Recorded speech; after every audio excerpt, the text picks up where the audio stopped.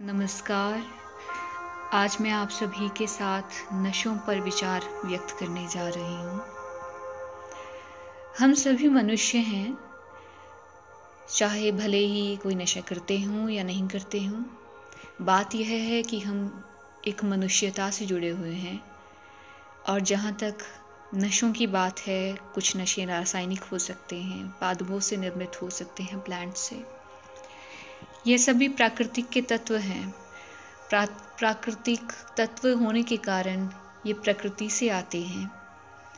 और ऐसा नहीं है कि जो नशे करते हैं वे बुरे मनुष्य होंगे या घृणित भाव हो उनके बारे में और जो नहीं करते हैं उन्हें अभिमान करना चाहिए कि वे नहीं करते हैं। या उच्च हैं क्योंकि वहाँ पर फिर अहंकार पनपने लगेगा। ईगो आने लगेगी। यह भी एक तरह का नशा ही है और यह भी दुख देता है कई बार। हाँ अगर कोई नशा ना करते हुए भी अच्छे से रहते हैं, प्रेम से रहते हैं, खुशी से रहते हैं, तब तो क्या कहना है?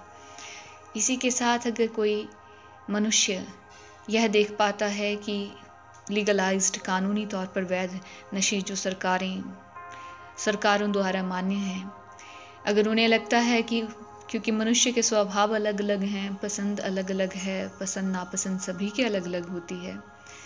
अभी जो नशों का सेवन लेते हैं, चाहे तरल पदार्थ में हो, चाहे ठोस पदार्थ में सॉलिड लिक्विड यह उनकी पसंद है, खुशी है, क्योंकि मैंने खुद सुना है, वे कहते हैं कि हमें खुशी मिलती है। तो खुशी मिलने वाली चीज़ उन्हें लगता है, उनका जीवन बेहतर हो रहा है, इससे उनके जीवन में खुशहाली आ रही है, स्वास्थ्य सुधर रहा है। अगर ऐसा है तो बहुत अच्छी बात है। अगर उन्हें लगता है कि जीवन पहले से बेहतर है, फिर तो क्या कहा जा सकता है?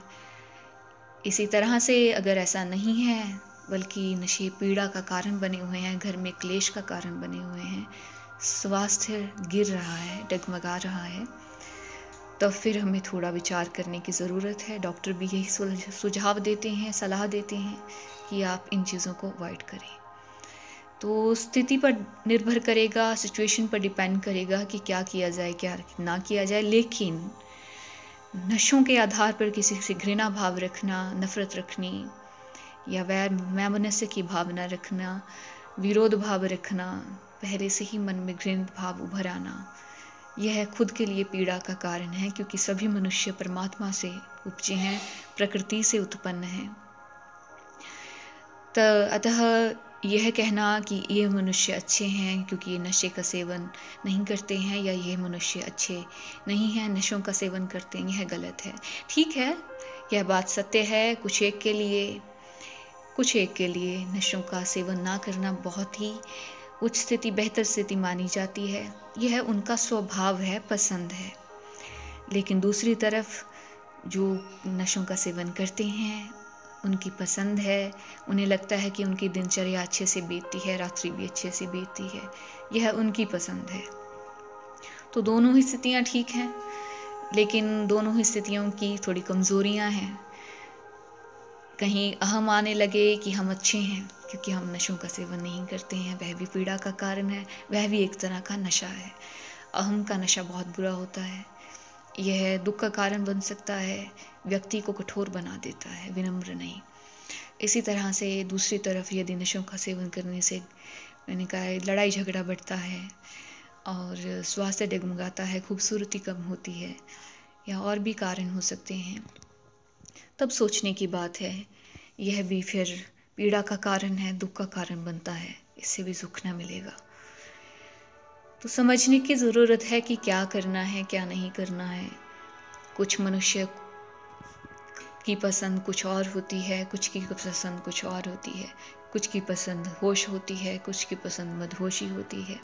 तरह तरह के मनुष्य हैं तरह तरह के मन हैं तरह तरह की बुद्धियाँ हैं इस दुनिया में। लेकिन हैं सभी मनुष्य। मनुष्य कैटेगरी में है मनुष्य जोनी में है मनुष्य तन मिला है ऐसा नहीं है किसी को राक्षस तन मिला है। हाँ वही बात है कि कुछ तत्व अगर कोई भी तत्व रासायनिक तत्व हो भले ही नशीला पदार्थ हो यदि वह मनुष्य को हैवान बना दे राक्षस बना दे और उसकी मनोवृत्तियों को बदल दे आ, उसके स्वभाव को बदल दे दूसरों के साथ भी और अपने साथ भी ज़्यादती करने लगे तब यह बहुत ही दुख का दुख की बात है दुख का कारण बनने लगेगा। इसी के साथ यह भी समझने की ज़रूरत है कि नशे मनुष्य जानबूझकर तो नहीं करते हैं। खुद को पीड़ा देना, यदि उन्हें लगता है कि पीड़ा पहुँचती है, मजबूरियाँ होती हैं। कई बार किसी को कोई चीज़ पसंद नहीं आता अपना जीवन पसंद नहीं आता रहन सहन पसंद नहीं आता तो पीड़ा में आकर मनुष्य ऐसा करते हैं, उदासी, फ्रस्ट्रेशन में आकर ऐसा करते हैं। हाँ दूसरा राह है एक। यदि किसी को लगता है कि नशों से पीड़ा पहुँच रही है, सुख नहीं मिल रहा है, रोज़ बदलाव नहीं आ रहा है, कुछ सुधार नहीं हो रहा है तो एक और राह है, बहुत अच्छा राह है। राह है विचारों का राह। हाँ जो बाहर से तत्व, रासायनिक तत्व या नशीले पदार्थ भीतर जा, डाले जाते हैं, वो भीतर भी हैं। उसे मैं नशीले पदार्थ तो नहीं कहूँगी नेचुरली कुदरती तौर पर जो पदार्थ हैं, वो बैलेंस में रहें, संतुलन में रहें। तो मुझे नहीं लगता है कि नशों की ज़रूरत पड़ेगी, क्योंकि नशों की ज़रूरत तभी पड़ती है जब दुख, दुखी हृदय हो, दुखी मन हो।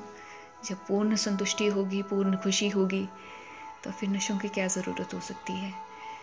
हाँ ऐसा है कि जब जीवन में कमी लग रही हो, खामियाँ लगती हों, तब मनुष्य सोचता है कि किस तरह से खुद को बाहर से बंद किया जाए, खुद को मदहोशी में लाया जाए और किसी तरह से सब तरफ़ से द्वार बंद हो जाएँ, क्योंकि इंद्रियाँ हैं, नज़रों नज़रें भी बंद हो जाएँ, सब कुछ ऐसा लगे कि ख़त्म होने लगा है, रुकने लगा है।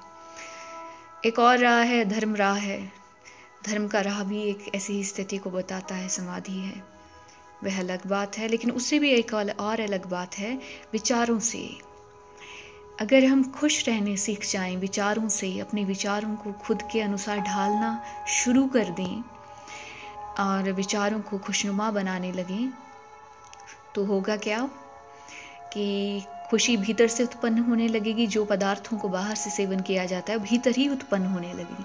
तो यह देखना खुद को पड़ता है ना किसके लिए कौन सा विचार अच्छा है। वही बात आ गई ना, जैसे मैंने कहा है, कुछ मनुष्यों के लिए नशे अच्छे हैं, कुछ के लिए नहीं हैं। पसंद नापसंद पर निर्भर करता है तो देखना होगा कि विचार जो ना खुद के लिए घातक हो, ना किसी दूसरे के लिए। वही बात आ गई, ना खुद को तकलीफ़ पहुँचाए ना किसी और के साथ। ना खुद से, खुद के साथ ज़बरदस्ती करें, ना किसी और के साथ। तो ये देखने की ज़रूरत है, ऐसे विचार मनुष्य को खुद टटोलने होंगे, खुद खोजना होगा अपने भीतर, कि किन से खुशी मिल रही है और किन से पीड़ा पहुँच रही है।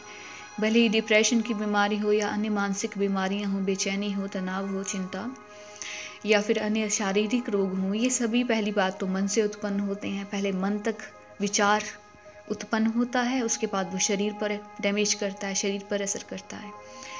शरीर को भी डैमेज पहुँचता है। तो हमें समझना है कि विचार किस तरह के हों। तो यह देखना होगा किस तरह के विचारों से शरीर भी खुश रह रहा है और मन भी पता चल जाता है हमें हाँ जैसे मानिए सर दर्द हो रहा है किसी का, तनाव के कारण, चिंता के कारण। और कोई थॉट है, बीच में चल रहा है, मनुष्य जाग गया कि नहीं नहीं, मेरे भीतर यह थॉट चल रहा है। इस विचार को, इस ख्याल को मुझे बदलना है। तो ख्याल को बदलने के बाद क्या होगा? ख्याल को बदलते ही वो सर दर्द बंद हो जाएगा, दवा की भी ज़रूरत नहीं पड़ती।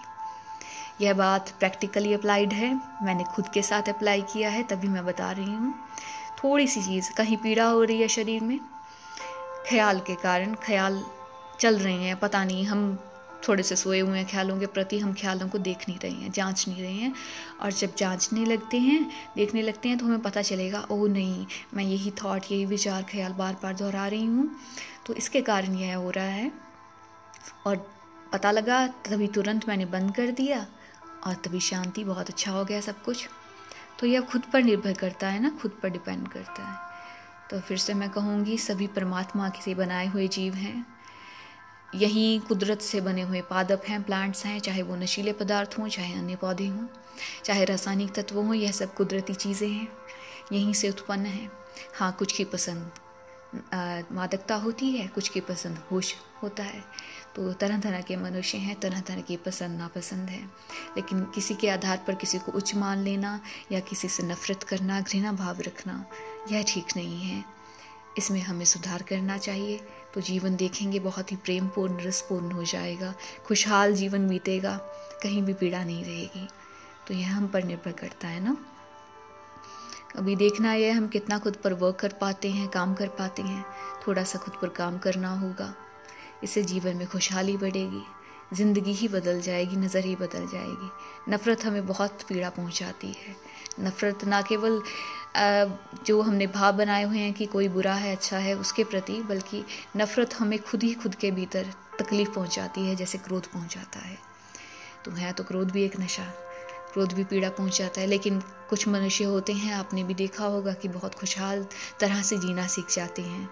तो यह देखना है हमें अपने भीतर कौन सी चीज़ें हैं, कौन से विचार हैं, जो हमें ना केवल क्षणिक खुशी देते हैं, कुछ टर्म के मोमेंट पर, बल्कि दीर्घकालिक लंबे लॉन्ग टर्म पर भी खुश रखते हैं। जैसे कि कुछ चीज़ें होंगी, कुछ थोड़े समय के लिए तो सब आस्थे ऐसा लगेगा कि ठीक हो रहा है, मन भी ठीक हो रहा है। लेकिन लंबे समय पर चाहे कुछ दवाएँ हों लॉन्ग टर्म जो उनके इफ़ेक्ट हो जाते हैं, फिर बॉडी पर पड़ जाते हैं, क्योंकि खुद से ज़बरदस्ती कर दी ना। ज़बरदस्ती तो किसी भी तरह की बुरी हो सकती है। तो ज़बरदस्ती खुद के साथ की जाए या किसी के साथ की जाए, पीड़ा का कारण ही बनती है। उससे खुशी नहीं। सहजता से हो सब कुछ नेचुरली स्मूथली आराम से हो। धीरे धीरे आहिस्ता आहिस्ता तो सब कुछ ठीक होने लगता है। ज़बरदस्ती नहीं। ज़बरदस्ती किसी फ़सल को कहें कि जल्दी से बढ़ जाए, ऐसा भी संभव नहीं है। कोई वृक्ष होता है, उस पर फल फूल आ जाएँ, ज़बरदस्ती बड़े बड़े वो दिखने लगें या हमारे लाभ के मुताबिक होने लगे। जल्दी से ऐसा नहीं होता है, स्मूथली आराम से आराम से सब चीज़ें होती हैं। इसी आराम में हमें रहना है, खुशी में हमें जीना है, खुशी से हमें जीवन यापन करना है, यह सब हमें सीखना है, जीवन को जांचना है और ऐसा खुशहाल बनाना है कि शायद मुझे लगता है किसी भी निर्भरता की, खुद से ज़बरदस्ती की ज़रूरत ही ना पड़े। तो ज़्यादा बेहतर है। यदि पढ़ रही है और मनुष्य उसी में संतुष्ट है, तब भी ठीक है। जैसी आपकी मर्ज़ी, सब सही है, सब यहीं पर है। सब परमात्मा के भीतर है, बाहर नहीं है। सब परमात्मा के दायरे में है, उससे कहीं बाहर नहीं है। सब परमात्मा के ही मनुष्य हैं। तो जो है, जो भी संसार उत्पन्न है, यहीं यहीं से, यहीं पर जो चीज़ें हैं, यहीं पर ली जाती हैं और यहीं पर दी जाती हैं। धन्यवाद।